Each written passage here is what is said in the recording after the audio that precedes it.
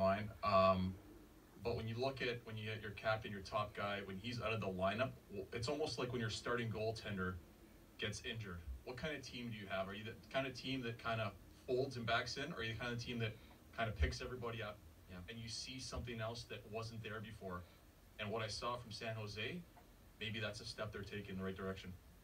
All right, uh, before we go to break, uh, some bad news uh, to pass along to everyone just reading this now on Twitter. Uh, condolences to the friends and family and everyone at TSN on the passing of Jason Botchford, who uh, passed away at the age of 48 uh, from heart failure, wrote for The Athletic, was a broadcaster on Team 1040 in Vancouver.